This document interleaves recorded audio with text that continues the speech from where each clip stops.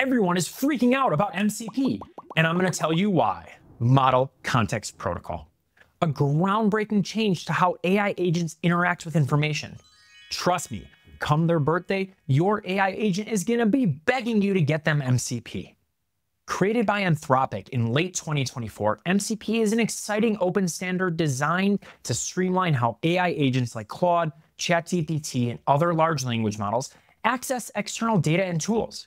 At its core, MCP decouples AI agents from messy custom integrations and context management, providing a shared, standardized way to discover and execute external tools. Think about it this way. Before MCP, integrating an AI agent with APIs like Twilio's meant manually building custom integrations, not just for each individual endpoint, but for each unique agent too. Essentially building roads by hand every time you needed to go somewhere new. At scale, this quickly became a big, hot mess. MCP changes everything. It's like replacing those handmade roads with a standardized interstate system. Agents can now discover, understand, and securely interact with tools and data effortlessly and consistently. When Anthropic launched MCP as an open standard, we knew something big was happening. And today, we're thrilled to unveil the Twilio Alpha MCP server, bringing this revolutionary technology directly to you. This server covers over 1,400 API endpoints across messaging, voice, account management, and beyond. And I know what you're thinking. You're thinking about how current MCP clients have limits to how many endpoints they can add to context at once, aren't you?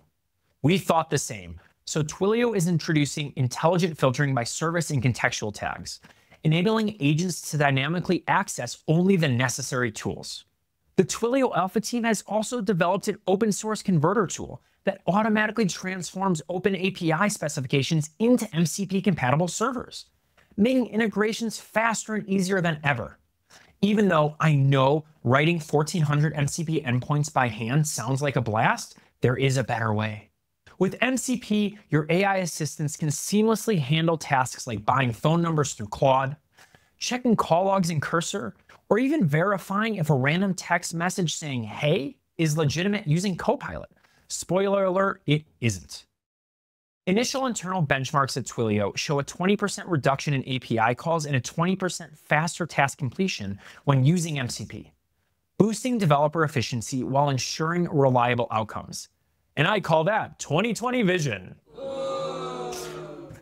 The bottom line is if you're building AI agents that need to interact with the real world, hitting APIs, performing actions, retrieving contextual information, MCP is your key to doing it without reinventing the wheel every single time.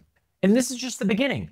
Twilio Alpha's MCP server is evolving with planned support for different services like SendGrid Email and Segment CDP, and more ways to slice the APIs to get you exactly the tools you need. Try out the Twilio Alpha MCP server today, share how you're using it in the comments, and contribute on GitHub.